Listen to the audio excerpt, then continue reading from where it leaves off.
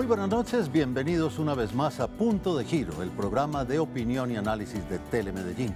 Aquí tratamos un tema trascendente, un tema importante para la comunidad, no solo la nuestra, la de la capital de la montaña, sino temas trascendentes para el país. Y hoy tenemos un tema de esos realmente importantes, un tema que ha concitado lamentablemente el interés de los colombianos prácticamente en los últimos años, el tema de la corrupción en Colombia. Un tema que nos preocupa, un tema que agobia a la comunidad, que hoy lo considera el problema más importante que tiene el país.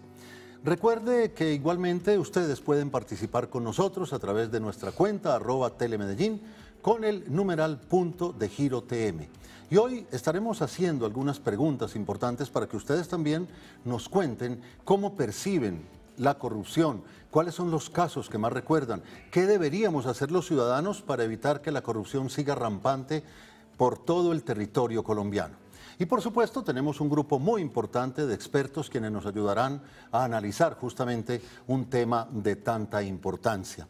Están con nosotros esta noche el eh, personero de la ciudad de Medellín, el doctor Guillermo Durán. Personero, bienvenido. Muy buenas noches. Muy buenas noches, Juan Guillermo. Muy buenas noches para los invitados y para todos los televidentes. Está con nosotros igualmente el profesor David Suárez. Él es abogado, docente universitario y algunas de esas materias justamente están muy ligadas a esos procesos de carácter administrativo en los cuales lamentablemente se ha enquistado en buena parte el tema de la corrupción. Profe, bienvenido. Eh, Juan Guillermo, a ti por invitarnos, al señor personero y al doctor Fernández por estar acá con nosotros. Exactamente, está con nosotros el doctor Rubén Fernández. Él es subdirector del Centro de Fe y Cultura, es una institución que trabaja muchísimo en la investigación y en el trabajo, justamente buscando equidad, buscando realmente una visión humanista del universo. Y también un eh, fundador y participante muy activo de la Corporación Región, corporación desde la cual justamente eh, hacen análisis interesantes y promueven algunos textos y algunos documentos en los cuales eh, se analiza específicamente el tema al cual nos estamos refiriendo esta noche. Bienvenido, doctor Fernández, muy buenas noches. Muchas gracias por la invitación, a los televidentes, al señor personero. Espero que tengamos un rato interesante de conversación. Sin duda alguna, porque reiteramos que hoy es un tema bien, bien importante y bien trascendente. Y quiero comenzar justamente por el doctor Fernández, porque valdría la pena que comenzáramos con un panorama, digamos, global. ¿Qué es lo que realmente nos está pasando? no hay semana en la cual no aparezca un escándalo de corrupción. Y de hecho los ciudadanos creemos que el último o el más reciente es el más grave, creemos que la situación tocó fondo y después nos llevamos la sorpresa de que no, de que sigue uno generalmente peor que el anterior. ¿Qué es lo que está pasando? ¿Tiene realmente una perspectiva de solución a este problema para los colombianos? Yo creo que la, la realidad global reciente tiene varios ingredientes adicionales que no teníamos hace 15 o 20 años. Por ejemplo, uno de ellos es las redes sociales. Es decir, un, escándalo cualquiera, desde uno muy significativo o insignificante en una fiesta de un hombre famoso mujer famosa, hasta un escándalo de corrupción, termina convertido en una noticia global con una rapidez y con una facilidad asombrosa. Ese es un ingrediente que ha hecho que la percepción de la corrupción hoy entre la ciudadanía sea mucho más directa, mucho más eh, veloz, pues, digamos. Ese es un punto. Pero lo otro es que sin duda ha habido algunos fenómenos recientes, yo no diría que necesariamente nuevos en términos pues, del panorama general de corrupción, pero los fenómenos como tal sí se han detectado hace poco. En particular, el caso de Brecht esta, como le han llamado algunos, multinacional del mal, que ha hecho, es decir, el daño que ha hecho esta compañía, pues creo que nos tardaremos generaciones en recuperarnos de semejante maldad. No me cabe, pues, la verdad, otra cosa que, que calificar eso. Eh, ese es un fenómeno que eh, no lo teníamos en esas dimensiones en otro momento, porque normalmente la corrupción la lográbamos detectar en el nivel nacional. A veces algunos fenómenos un poco extra, extraterritoriales en los países, algunas dinámicas de corrupción general, pero esta pues que es una, la principal empresa constructora de infraestructura en América Latina, saltando hacia África y Europa, sin duda pues es un fenómeno que, que, no teníamos pues hace, hace unos pocos años. Claro, y que genera, profesor eh, Suárez, eh, una desazón en la comunidad, porque la comunidad ve con horror efectivamente hasta dónde eh, llegan esos tentáculos de la corrupción. Mm, y en algún momento da la sensación de que la misma comunidad pierde la esperanza de que efectivamente se pueda mm, torcer esa ruta. Y de alguna manera, y esa es la pregunta que quiero hacerle, mm, algunos eh, acaban señalando que, que- que la corrupción se ha vuelto un tema cultural. ¿Eso, eso tiene algún asidero? ¿Realmente así ha logrado meterse eh, en el alma de la gente? Sí, indudablemente, y, y hay que precisar que la corrupción es transversal, es decir, ataca todos los sectores, ¿sí? todos los sectores sociales de Colombia han estado afectados por la corrupción, el Ejecutivo, el Congreso, ahora las Cortes, las fuerzas militares, la Iglesia, y no olvidemos una cosa muy importante, el sector privado, porque generalmente se tiene la idea de que lo corrupto es lo público, de que son los servidores públicos los más corruptos, pero en el sector privado hay igual o mayor corrupción que en el sector público. Lo que pasa es que en el sector privado, cuando en una empresa hay un acto de corrupción, muchas veces hasta indemnizan al corrupto para que se vaya calladito de la empresa y al dueño de la empresa no le interesa un escándalo en fiscalía y a los medios de comunicación muchas veces no les interesa tanto un escándalo de corrupción en el sector privado como si en el público. Indudablemente es un tema cultural, ¿sí? Eh, generalmente se ha atacado con leyes, generalmente se ataca con reformas constitucionales, generalmente se ataca con reformas a los organismos de control. E indudablemente es un tema que hay que atacarlo desde la educación, desde la cultura, es una forma de ver la vida. Si uno toma, por ejemplo, los países que a mi juicio son más decentes y civilizados, Suiza, Finlandia, Noruega, Nueva Zelanda, Canadá, Australia, son países con escasísimo o casi nulo eh, síntomas de corrupción. O sea que yo sí creo que el tema cultural, el tema educativo y el tema de la decencia tiene que ver mucho en este tema, más que un tema legal o un tema normativo. Es un tema más humano y cultural que de derecho jurídico. Perfecto. Y un poco más adelante hablaremos ya de, de caminos de solución, o por lo menos desde esta perspectiva, cómo pensamos que podemos aportarle a la solución. ¿Y cómo lo ven personero desde, desde los entes de control? Porque es que da la sensación de que donde meten la mano aparece un escándalo, aparece una situación anómala. ¿Qué piensan ustedes? Desde los entes de control tenemos que decir nosotros que es una situación que, que a veces en muchas oportunidades los, eh, no se sabe cuáles son las funciones que cumplen los entes de control. O los entes de control se dedican a otra clase de, si- de- de situaciones para servirle a la comunidad y no se dedican al control. Por eso mucha de la ciudadanía no confía en los entes de control propiamente, como la Procuraduría, como las Contralorías y como las Personerías. De hecho, eh, recordemos que hace poco tiempo se quisieron eliminar porque parecía que estuvieran cumpliendo funciones repetidas por parte de otros organismos. Pero lo que se tiene que señalar aquí es que las personerías tienen el mismo poder y el control disciplinario que tiene una Procuraduría. Lo que pasa es que mucha ciudadanía no la conoce. Yo quedaba sorprendido de que la Personería de Medellín cumple, cumplió este año 85 años y muchas personas, mucha ciudadanía no conoce que allá efectivamente se disciplina a los servidores públicos que posiblemente han tenido actos inadecuados y también actos de corrupción. Entonces, aquí lo que hemos visto es que eh, no se han promocionado y la, gente, y las personas no saben o no confían en esa justicia administrativa que puede ser de, mucho valor y de, bastante acción para combatir la corrupción.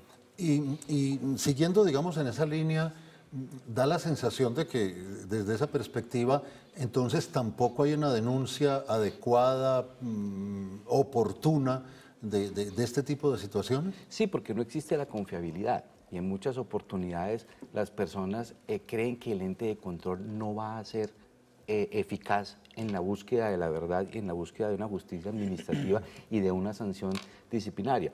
Por eso hemos nosotros desde la personería considerado que lo importante es darle publicidad a los actos que tengan las, las entidades, porque esto genera confiabilidad en la ciudadanía. Es decir, que las personas sepan en qué terminó aquella denuncia que algún día se puso por parte de un ciudadano o que de manera oficiosa ha adelantado.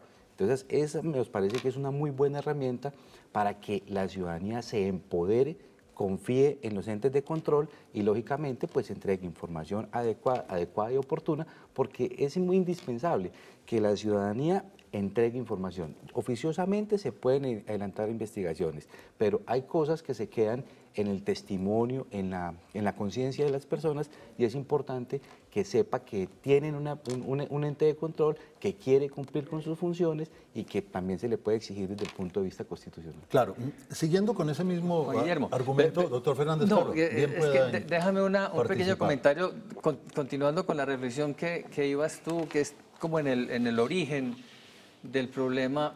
Nosotros eh, afirmamos en el Centro de Fe y Culturas que en el, en el corazón de la problemática hay una dimensión de carácter espiritual. No estamos hablando de cuestiones religiosas, estamos hablando del sentido de la vida.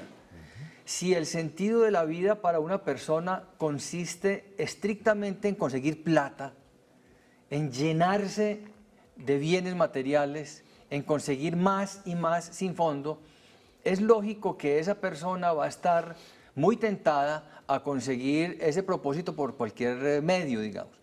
Fíjense ustedes que si revisan los escándalos recientes de corrupción en este país, tanto el sector público como el sector privado, detrás de esos escándalos hay personas que ya tenían mucho dinero antes de incurrir en la falta, en la falta corrupta.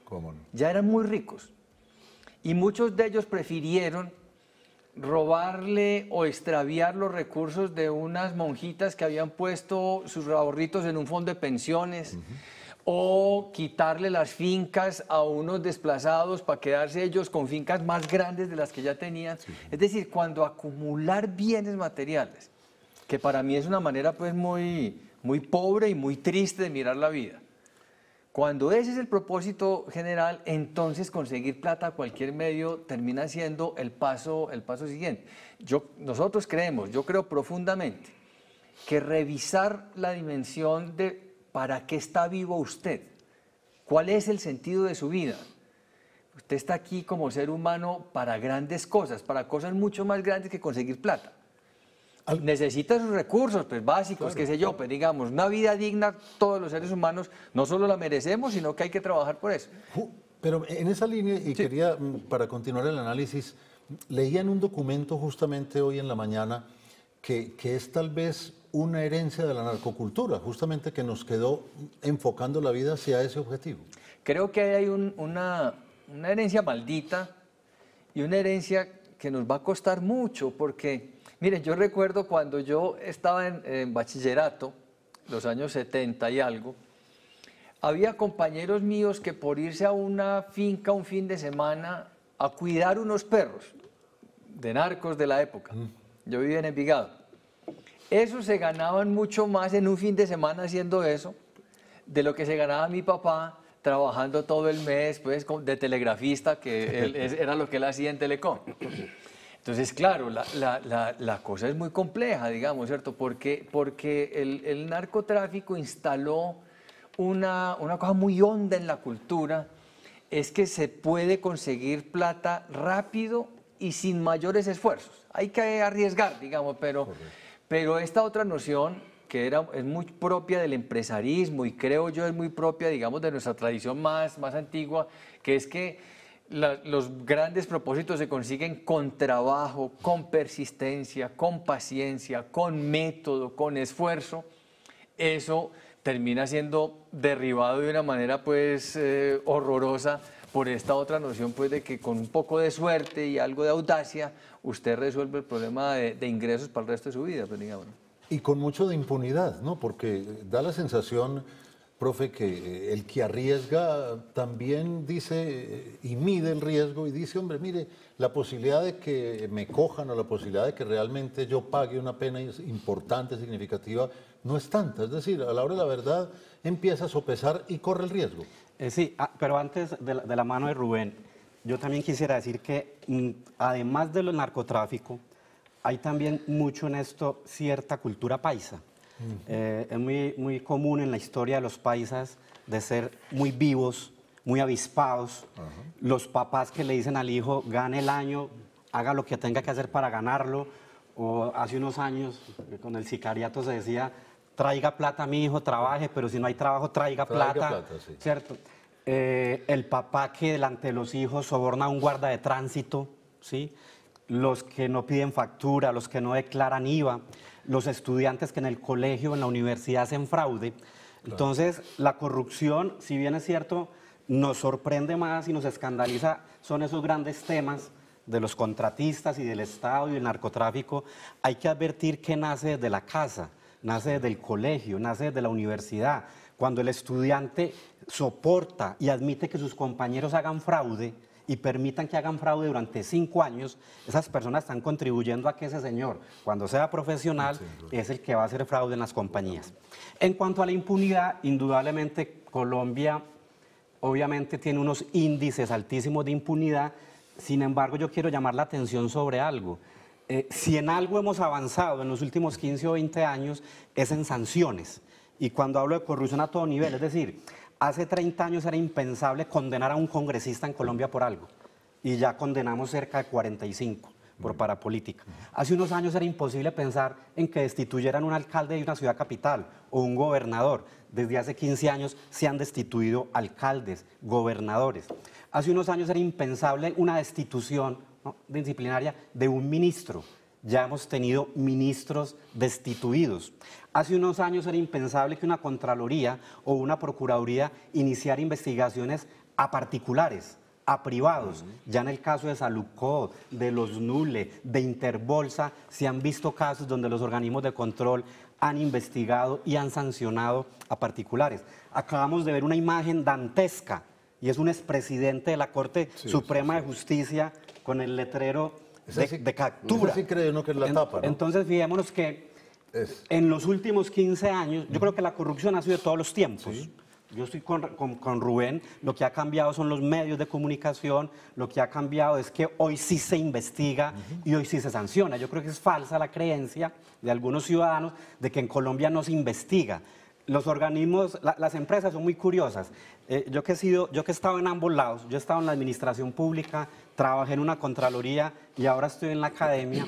Si usted le pregunta al gerente de empresas públicas, por decir algo, el gerente de empresas públicas dice, no me aguanto los organismos de control, me mantengo en procuraduría, en versiones libres, me mantengo atendiendo comisiones de la personería, la contraloría, pero usted, usted encu- encuesta a un ciudadano y el ciudadano dice, en Colombia los servidores públicos hacen lo que quieren, los organismos de control no sirven para nada, los organismos de control no hacen nada. Entonces yo creo que tampoco podemos ser tan satánicos o tan dantescos de creer que ya tocamos fondo, de que el país no tiene futuro, de que los corruptos se apoderaron de esto. Miren, un caso de corrupción es muy grave. ¿sí? Un solo magistrado de una alta corte corrupto es demasiado grave. Pero yo quiero seguir siendo optimista en creer que siguen siendo minoría. Yo quiero seguir creyendo, a pesar de, que en ese momento es difícil sostener esa idea, porque hoy estamos crucificando a las cortes, a los magistrados y a los jueces, pero yo estoy seguro que son minoritarios. Repito, es muy grave un solo caso, pero yo creo que son menos los jueces y magistrados corruptos que los decentes y honestos. Mm, Y ahí toca justamente con los entes de control, ese análisis eh, que ha hecho eh, el profesor Suárez. Mm, ¿En qué han mejorado esos importantes organismos del Estado de control? ¿Qué pasos han dado justamente que permitan eh, ese cuadro que es un poco más optimista que lo que pensamos en general? Y, y mira, digamos, la- hablando de lo que decía el profesor, teníamos, se tiene que, que todos nos indignamos en esa fotografía del ex magistrado de la Corte Suprema, pero si no hubiese sido por una investigación que se hizo, por el seguimiento que se hizo, por las denuncias que se practicaron, pues eso no hubiese sido posible. Por eso los organismos de control sí funcionan y llegaron al punto de descubrir esta alianza que existía en la justicia y que hoy nos tiene pues a todos indignados. Pero es importante, digamos, eh, que los entes de control se, que la ciudadanía se apoye de los entes de control. Es que en muchas oportunidades los entes de control se creía que eran un apéndice de la alcaldía o un apéndice de los consejos municipales. Y entonces se señalaba como si esos fueran eh, o hicieran parte de, de ese engranaje. Hacen parte del control, pero no, pero no es propiamente, digamos, ni el alcalde es el jefe del personero, ni el consejo es el jefe del personero. El personero es autónomo e independiente. Y por eso la ciudadanía tiene que eh, atraparlo y tiene que darle la fuerza suficiente para que pueda hacer su trabajo. Nosotros en la personería, o cuando llegamos a la personería, tantas funciones que tienen los personeros, porque si una ley quiere brindarle alguna confianza a un ciudadano, al último artículo, antes de decir que la fecha en la cual se promulga, señala y será vigilado por el personero municipal. Y un comentario, Juan Guillermo. Hay que hacer una advertencia. El doctor Guillermo es el, el, primer personero de Medellín elegido por concurso.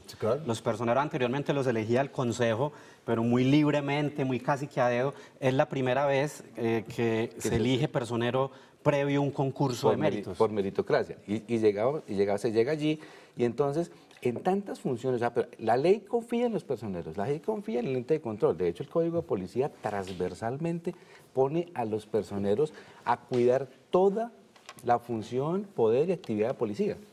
También aquí se llenó de funciones y en muchas oportunidades, eh, digamos, el ente de control se queda pequeño para la, cantidad de funciones que le imponen. Por eso en este momento se está llevando al Congreso de la República un proyecto de ley para darles más fuerza a las personerías, para que los entes de control efectivamente funcionen como tienen que ser. Nosotros transformamos eh, la unidad de vigilancia administrativa, porque la unidad de vigilancia administrativa se ha convertido en una unidad de atención al ciudadano. O sea, le hacía trámites al ciudadano, pero verdaderamente no estaba cumpliendo con el rol constitucional que le corresponde y era la vigilancia de la conducta oficial. Ahora cambiamos esa estrategia y, pusimos un, un, tema de vigilancia preventiva, que es lo que en este momento está funcionando el método, porque anteriormente se esperaba a que, como se dice el servidor público, la embarrara. Y cuando la embarrara, pues una sanción mm, ejemplar ya no era ni siquiera ejemplarizante porque el daño estaba causado la administración municipal ya había quedado mal, la ciudadanía no confiaba en la administración municipal, no confiaba en el ente de control. Por eso se entra en una medida preventiva y cuando se ponen los ojos de manera preventiva, se corrigen los comportamientos. Y al corregir el comportamiento, se evita el daño a la administración y se evita la sanción del servidor público. Claro. Perdóname, ahora, eh, eh, los organismos de control de todas maneras tienen también sus problemáticas eh, que usted lo sabe muy bien, digamos, ¿no? También ahí ha habido situaciones muy complejas. Ahora, que, que, tiene que ver pues con mala utilización de recursos o del poder delegado que tienen un organismo de control para vigilar, sancionar o castigar un, un funcionario público, un comportamiento determinado. Pero yo creo que hay una cosa que, que, que la ciudadanía tiene todavía mucho eh, que recorrer como camino y es diferenciar entre la equivocación que comete de buena fe un servidor público y la corrupción. Porque el problema es que la sensación generalizada de que todo, absolutamente todo es corrupto, es que cualquier equivocación inmediatamente es calificada de corrupción y no necesariamente. Es muy importante, esto pues los, los organismos de control lo hacen, digamos, de oficio, pero, pero la ciudadanía no. Entonces muchas veces usted ve eh, servidores públicos que se saltaron una norma o que cometieron un error o que, bueno, es decir, es que son seres humanos y estamos hablando de centenares de miles de servidores públicos que hacen su trabajo día a día. Yo he estado también en el sector público, creo que la gran mayoría, la gran mayoría hacen un trabajo extraordinario, hacen un trabajo abnegado, hacen un trabajo interesante. En una masa humana como esas, también hay gente que se equivoca, por un lado, y cuando usted se equivoca, pues bueno, tiene que pagar los errores, no es que no le pase nada tampoco. Pero es distinto a aquel que se equivoca de aquel que utiliza el poder que tiene en sus manos para beneficio personal, que eso es lo que es corrupción. Cuando usted utiliza los recursos para su propio beneficio o el beneficio, digamos, de su entorno más cercano, está ante un acto corrupto. Pero usted puede eventualmente equivocarse, tomar una decisión que, que por alguna razón pues usted se le escapó algo, no consultó eh, la fuente que era. Hay muchas maneras de equivocarse. Y hay un proceso disciplinario que, que, que lo protege y que lo sancionará en caso de que la cosa no funcione. Rubén, y hay una cosa, qué pena contigo. No, no, dile. Es la cantidad de normas jurídicas a las que se enfrenta un funcionario. Porque una cosa es el alcalde de Medellín, que tiene 50 o 70 abogados, o el gobernador de Antioquia, que tiene 80 abogados, pero la mayoría de municipios del país son de quinta y sexta categoría, donde el alcalde, si mucho, cuenta con un abogado recién egresado y tiene que aplicar todas las normas, las de tránsito, las de salud, las de educación, las de vivienda. El riesgo es Y hay veces los titulares de prensa no distinguen. La, la noticia de prensa es, Personería de Medellín abrió investigación, Contraloría abrió investigación y todo el mundo mismo piensa lo que dice Rubén. Corruptos, se robaron la plata. Muchas veces es desconocimiento de una norma, una interpretación. Hemos tenido muchos casos donde el señor personero o el contralor pueden tener una interpretación distinta a la que tiene un alcalde, un gobernador de turno, y por el solo hecho de tener una, in- una interpretación distinta, eso no debería por qué ameritar ni siquiera una sanción. Investigación sí, porque para eso están los organismos de control, pero muchas veces es el desconocimiento o la gran cantidad de normas que muchas veces ni las altas cortes se ponen de acuerdo. Hay veces que ni la Corte Suprema, el Consejo de Estado y la Corte Constitucional están de acuerdo en una interpretación. Imagínate un alcalde de un municipio de quinta o sexta categoría que a duras penas tienen acceso a algunas horitas al día a Internet. Claro, y eso de alguna manera explicaría también el por qué en el índice de percepción de la corrupción, pues Colombia tiene realmente una posición eh, que, que demuestra que efectivamente la gente tiene una idea distinta de lo que está pasando, ocupa el puesto 90 entre 176 países. Ya vamos a continuar con este tema tan interesante, este análisis que hacemos sobre la corrupción un fenómeno que efectivamente ha azotado en los últimos tiempos en forma muy significativa a todo el territorio colombiano. Recuerde que usted puede participar con nosotros a través de nuestra cuenta arroba telemedellín con el numeral punto de giro TM y puede decirnos, por ejemplo, en qué ramas del poder público considera que se puede presentar mayor corrupción e igualmente qué opinión tiene sobre la corrupción en el sector privado, porque también, como bien decía el profesor Suárez, allí se presentan muchos fenómenos de esta naturaleza. No puede de ninguna manera endilgarse únicamente al sector de la administración pública. Vamos a unos mensajes institucionales y regresaremos en minutos para seguir hablando hoy de la corrupción en Punto de Giro, el programa de opinión y análisis de Telemedellín.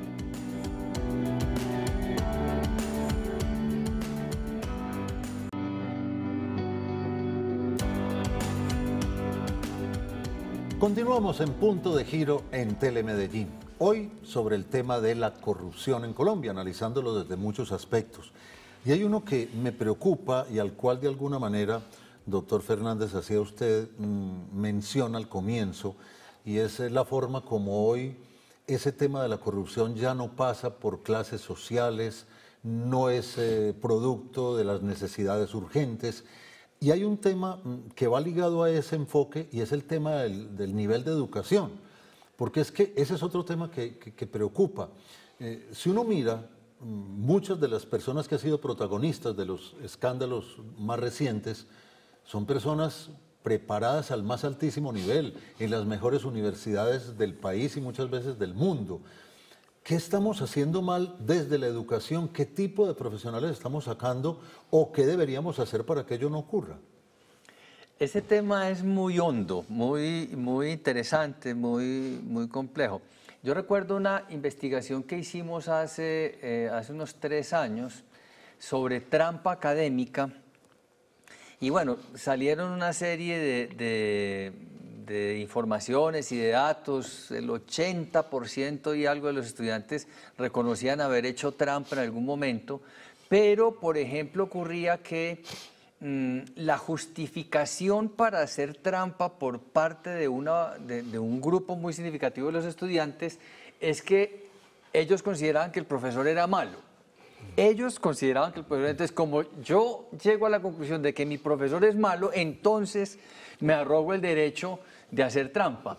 Estamos ante una tremenda dificultad, porque entonces te das pues una, una prioridad, te das una, una- un instrumento para evaluar al otro que termina siendo muy complicado. Pero hicimos también una investigación con profesores y nos encontramos que hay una serie de prácticas dentro de las instituciones de educación superior que eh, son problemáticas. Ahí yo recuerdo una, por ejemplo, muy compleja que era, o muy sencilla, la verdad sea dicha, y, y graficándola es así.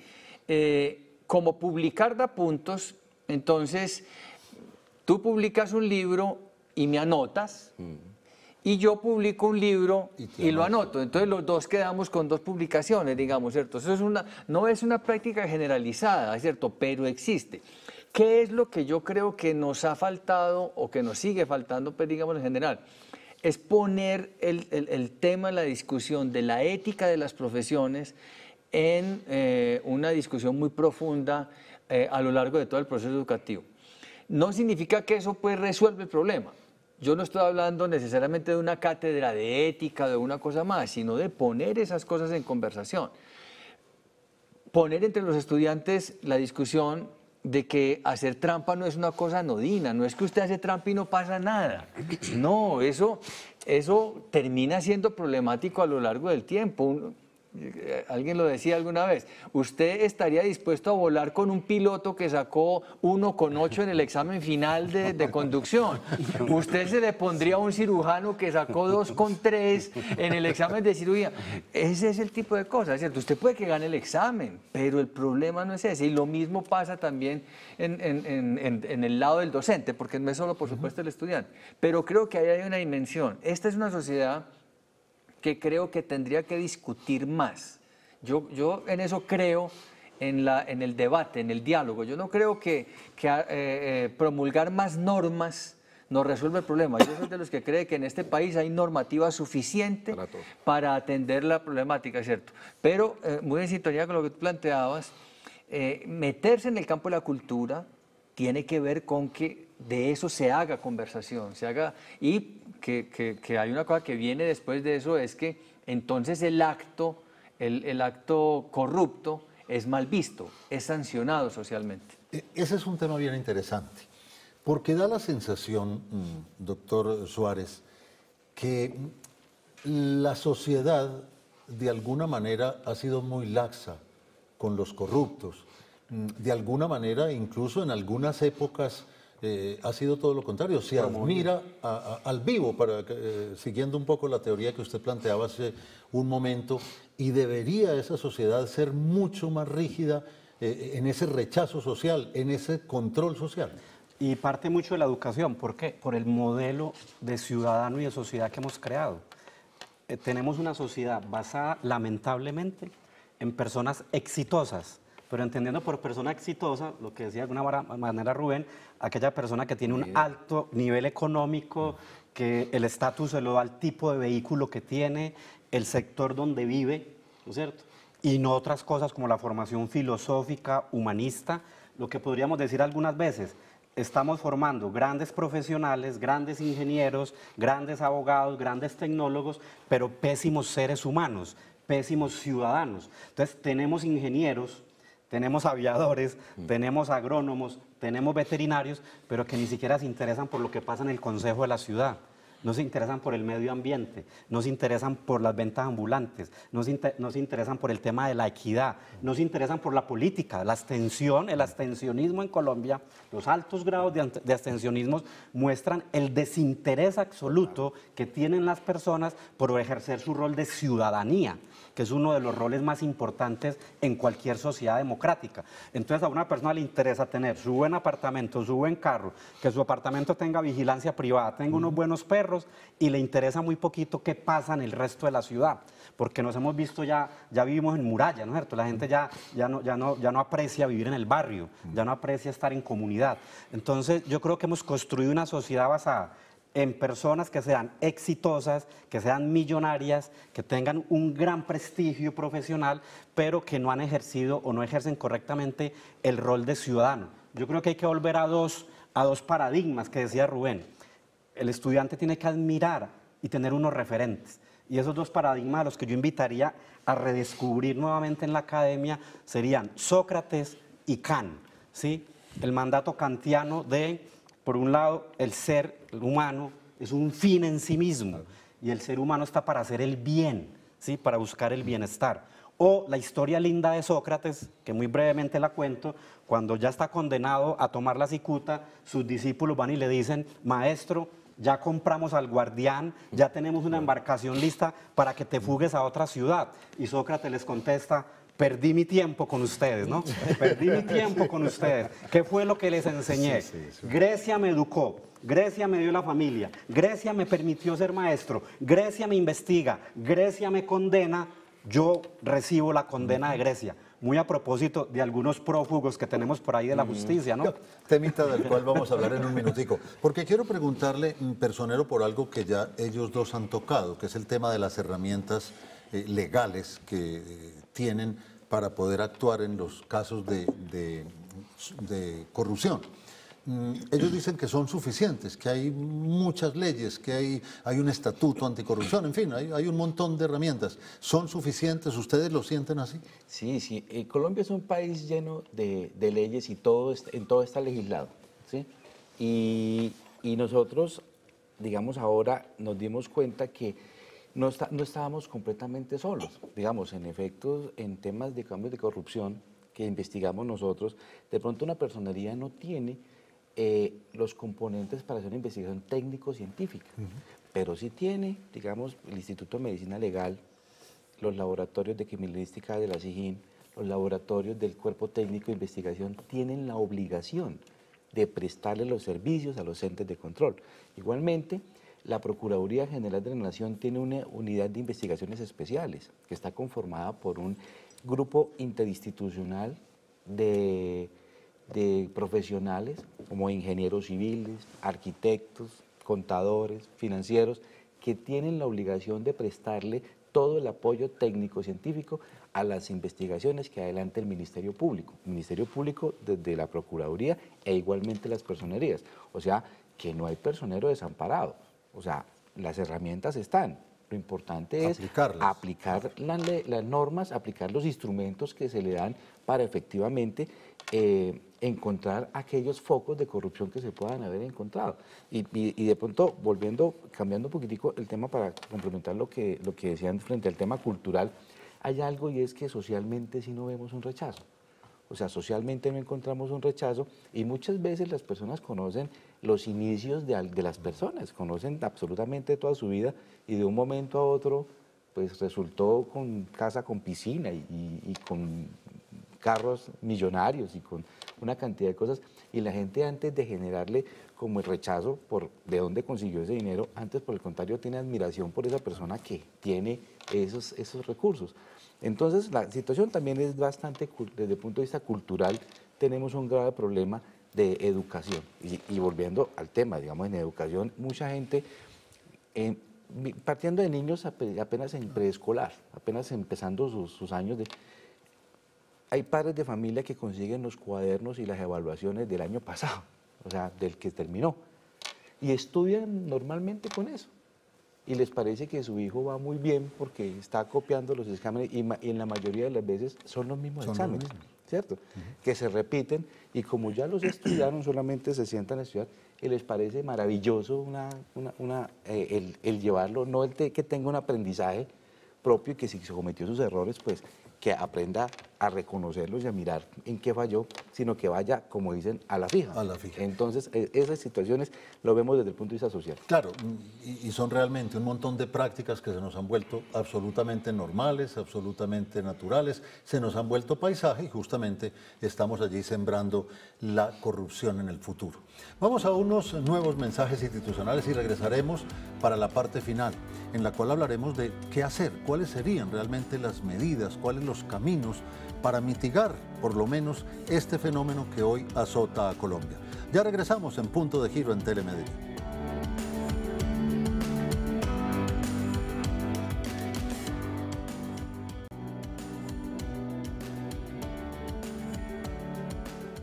Continuamos en Punto de Giro, el programa de opinión y análisis de Telemedellín. Recuerde participar con nosotros a través de nuestra cuenta arroba Telemedellín con el numeral Punto de Giro TM.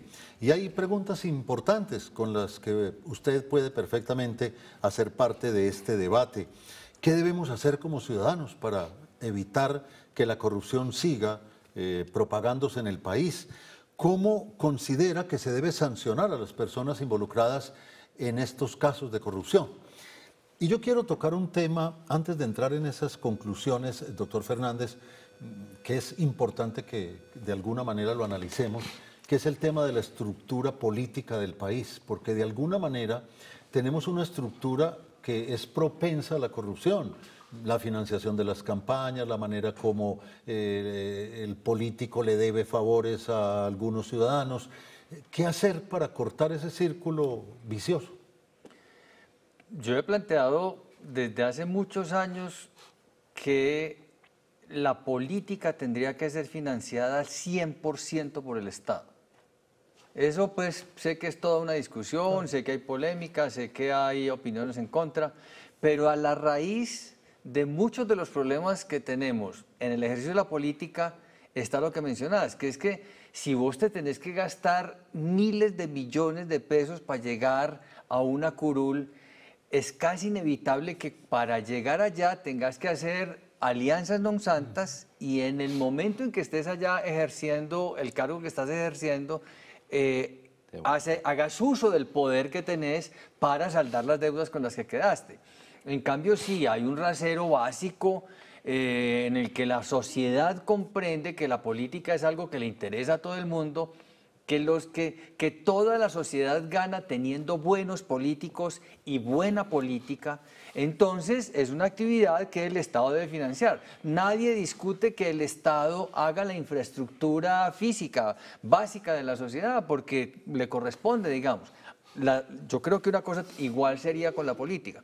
Por supuesto que eso tiene otra serie de mecanismos de control, pero para mí ese es uno de los, de los ingredientes básicos. Hay otra serie de herramientas que entre otras pues están en marcha, mecanismos de transparencia, de rendición de cuentas, de ejercicio de la ciudadanía y del control del ciudadano, de aquel por el quien vota, que es una cosa que nos falta mucho.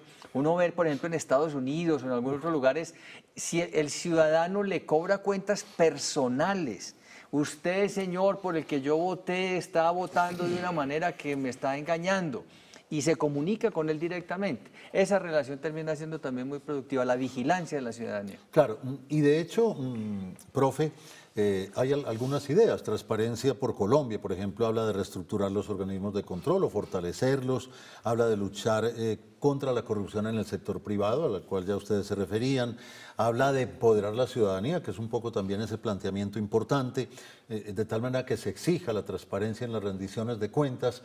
Pero como usted planteó desde el comienzo el tema, desde lo cultural, ¿qué hacemos desde, ese, desde esa visión? Sí, yo parto de la base que leyes hay suficientes. Tenemos ley 190, tenemos ley 1474, ley 790 que aprobó la Convención Americana de Lucha contra la Corrupción. Yo creo que en los organismos de control se pueden hacer ajustes. Algunos organismos de control todavía les falta mayor independencia, sí. mayor imparcialidad. No podemos seguir diciendo, como pasa hoy día, de que tenemos un fiscal que es cuota política de un partido político o que tenemos un fiscal que es mano derecha de uno de los candidatos presidenciales, ahí todavía se pueden hacer ajustes en la manera de elegir al fiscal, en la manera de elegir al procurador general, en la manera de elegir al contralor. Ahí se pueden hacer algunos ajustes en cuanto a elección, profesionalismo, le falta más tecnicismo, mayor presupuesto, mejores salarios para que se sientan bien compensados por esos organismos de control. Yo creo que la publicidad es muy importante en la administración pública, las veedurías ciudadanas, perder el temor a denunciar. Y en estos días me planteaba un estudiante un dilema, es que a mí no me gusta hacer sapo. Es que si yo denuncio al compañero que, que hace fraude, quedo como un sapo. Entonces, listo, no seamos sapos, no seamos delatores, pero censurémoslo si conocemos de un acto corrupto de un hermano, listo, usted no va a ir a denunciar a su hermano a la fiscalía, pero cuestiónelo durante el almuerzo, cuestiónelo delante de sus hijos. Y si es un compañero del colegio de la universidad, cuestiónelo durante el descanso, cuestiónelo delante de sus demás compañeros, hágalo quedar mal, si hágalo quedar mal de que él está haciendo fraude en la academia. Entonces yo creo que tenemos que asumir ese papel de censurar, ¿sí? de rechazar ese tipo de comportamientos corruptos a un papá, a un hermano, a un hijo, a un compañero de universidad o al político por el que votamos. No estamos de acuerdo en lo que usted está haciendo como alcalde, no estamos de acuerdo en su comportamiento como concejal. El papel de los medios de comunicación, pero con una advertencia. Creo que hay veces los, los medios de comunicación se exceden porque hay veces posan de fiscales, hay veces posan de, de, jueces y también se cometen muchas injusticias. En ocasiones los medios de comunicación condenan y juzgan a unas personas, hay una cacería de brujas, entonces yo creo que el medio de comunicación es muy importante para denunciar, para dar a conocer, pero tratar de quedarse en la información y no convertirse en juzgadores, mm. en jueces o en fiscales, dejarle eso a los organismos de control. Y lo otro es campañas masivas en los colegios, y en las universidades. Estoy de acuerdo que no se trata de dictar ética, sino de asumir dilemas y comportamientos éticos transversales durante toda la enseñanza. Exactamente, volverlo un tema de conversación en los centros educativos. Y tengo que preguntarle, eh, personero, por Fuerza Anticorrupción, porque justamente su despacho acaba de poner en marcha este proyecto? ¿En qué consiste eh, eh, rápidamente? Este, este proyecto consiste en devolverle las verdaderas funciones a la vigilancia administrativa la vigilancia administrativa en las personerías se convertía en una parte, la, parte de los procesos disciplinarios, y en la otra parte era un servicio a la ciudadanía, como tal. Decía vigilancia administrativa porque me pusieron una foto de multa, vigilancia administrativa porque no me han contestado un derecho de petición. Entonces, quitamos esa cantidad de funciones que le estaban sirviendo al ciudadano para verdaderamente, o para verdaderamente hacer auditorías de oficio a las diferentes secretarías de la administración municipal y lógicamente al plan de desarrollo del alcalde. O sea, no, no, podíamos quedarnos en la atención al ciudadano, que es una muy buena función que se presta, pero que verdaderamente lo puede hacer la Oficina de Atención al Público perfectamente y la unidad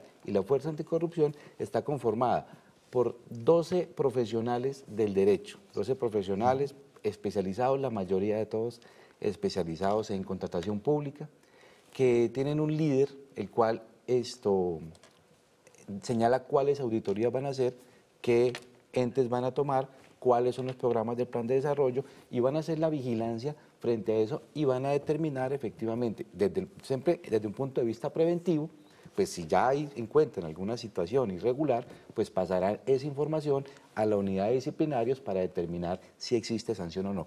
Pero normalmente esta unidad va a vigilar es el buen comportamiento de los servidores públicos de manera anticipada, de manera preventiva, para efectos, efectos de evitar pues algún acto de corrupción. Pues esperemos que efectivamente. estamos hablando muy bien y lo que y lo que y también digamos nosotros tenemos un programa de personeros escolares que es creado por la ley. Claro, pues.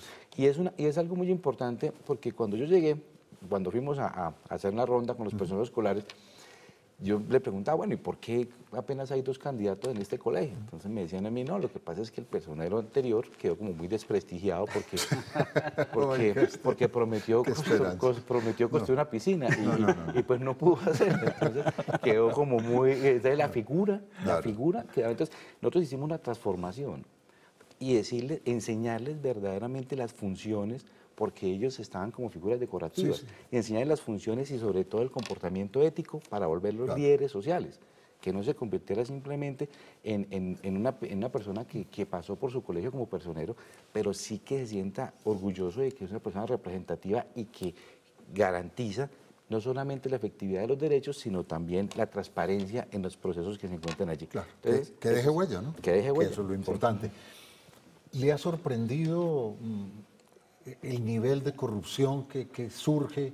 Usted decía ahora que ese caso del presidente de la Corte realmente pues es, eh, es lamentable. Eh, ¿Tenemos que esperar sorpresas más de ese nivel? Eh, yo creo que durante muchos años los colombianos nos vamos a tener que sorprender con hechos de corrupción a todo nivel, en el Ejecutivo, en el Legislativo, en el Judicial, en la empresa privada. Porque a medida que los organismos de control se afiancen más, a medida que los ciudadanos exijan más a los organismos de control, a medida que las redes sociales no bajen la guardia, vamos a descubrir cosas malucas, cosas eh, insospechadas, ¿no es cierto? Porque lamentablemente al interior de muchos organismos estos escándalos no sirven, ¿sí? Uno cree que estos escándalos desestimulan y, y ya mañana vamos a amanecer como nuevos. No, históricamente hemos tenido casos de esto, no es la primera vez. Hace muchos años tuvimos el Guavio, la Caja Vocacional, Félix Correa Maya, el grupo Miquel Senuribe, eh, Dragacol, Termorrío. Es decir, eh, en la universidad en estos días hacíamos un evento, hicimos un listado, una profesora hizo un listado de 49 grandes casos de corrupción en los últimos 50 años. esa frase que ya tocamos fondo, de que Colombia nunca había tenido lo que tiene hoy, la estamos escuchando hace 50 años. Y creo que la vamos a escuchar durante, durante muchos gobiernos y años más.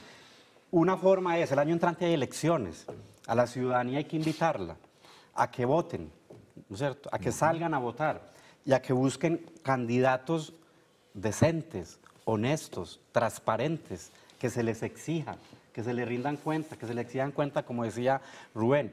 Pero si bien vamos a seguir teniendo actos de corrupción, siempre, como decían por ahí, uno nunca va a perder la capacidad de sorpresa, de sorprendernos, de extrañarnos, de rechazar, de condenar, de exigir sanciones, ¿sí? Porque yo creo que hay que mezclar educación, cultura, pedagogía, pero también sanciones ejemplarizantes. Yo no soy muy amigo de la cárcel, el tema de la cárcel, a mi juicio ya está clausurado, pero sí sanciones económicas, inhabilidades fuertes, incompatibilidades, conflictos de interés, trabajo social, trabajo comunitario. Entonces hay que ser creativos en el tipo de sanciones. Porque todo el mundo pide cárcel, el personero lo sabe. No tenemos cárceles ya, no hay dónde meter tanta gente a la cárcel. Hay que buscar sanciones alternativas y que duelan, como es el bolsillo, como es la inhabilidad para ejercer cargos públicos o que trabajen con la comunidad, trabajo comunitario y social como se hace en Estados Unidos y en Europa. Claro, y quiero cerrar con, el papel del ciudadano, doctor Fernández, de la comunidad, porque esto, esto no es un tema de los entes de control, ni del gobernador, ni del alcalde, sino que todos tenemos que, de alguna manera, jugar un papel importante. Sin duda, creo que, eh, es más, creo que es que ahí es donde está básicamente la clave de resolver los problemas. Ya tú mencionabas uno, yo me sumo a ese el votar, votar no es un regalo, es un derecho. Hay gente, miles de personas en el mundo que dieron su vida, su sangre, porque los seres humanos tuviéramos derecho al voto. Entonces, votar no es un asunto menor. Y por supuesto, puedes votar por quien toca. Entonces, es muy triste. En estos días pues, veíamos, esta semana mismo en televisión, un personaje que ha sido condenado dos veces uno por parapolítica y otro por un procedimiento de relación con grupos ilegales y tiene una investigación abierta por narcotráfico y otras cosas y eh, haciendo un discurso y centenares de personas se veían pues en el auditorio aplaudiéndolo y aclamándolo. Es decir, hombre, digámoslo, digámoslo con las palabras que toca, no hay derecho a ser tan imbécil. Los, ciudadanos no podemos ser tan imbéciles de que un fulano como estos vuelva y quede y vuelva y diga por quién hay que votar y por quién no votar. Esa pues es una primera, una primera cosa. Y la otra creo es también bastante sencilla. Es, mire, si usted es pobre y está desorganizado, es más pobre aún.